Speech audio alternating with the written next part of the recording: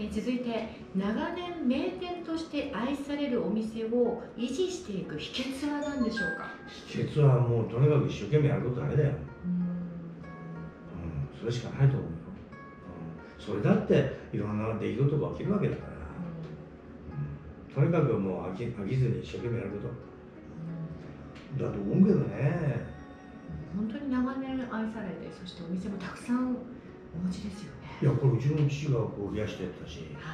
で自分が増やした店もあるし今は僕はもうほとんどうちの息子に任せてるから、うん、彼彼なりの考え方で一生懸命やってるしどこに店作っちゃったんだからね。すごいですよね。知らない。またあれですもん堂々の場合はご自分の国じゃなくてこう日本にこの中華日本の中華料理を広めた神様ですよね、うんそれがじゃあ世界にどんどん広がっているですね今。まあ広がってるっていうか、それは息子がどう考えるかだよね、何かこうアドバイスはされたり？いやもう聞かれた時しか僕言わないからあとはピザしないしてるそうなんです、はい、見守ってるって感じですかね。見守ってる見ない方がいいね、うん、見るというかどうしても気になっちゃうタイプだから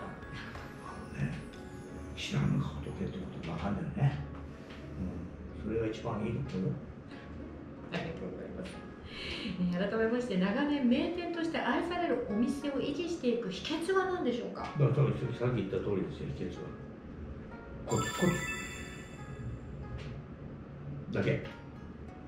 はい、ありがとうございました。ここまでは経営についてお話を伺いました。